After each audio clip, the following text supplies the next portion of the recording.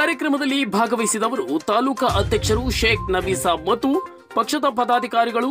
ದುರ್ಗಾ ಪ್ರಸಾದ್ ಚಂದ್ರಶೇಖರ್ ಲತೀಫ್ ಉಲ್ಲಾ ಅನ್ವರ್ ಥಾರಿಕ್ ಪಟೇಲ್ ಅಪ್ಪಣ್ಣ ಹಾಗೂ ಕಾರ್ಯಕರ್ತರು ಭಾಗವಹಿಸಿದ್ದರು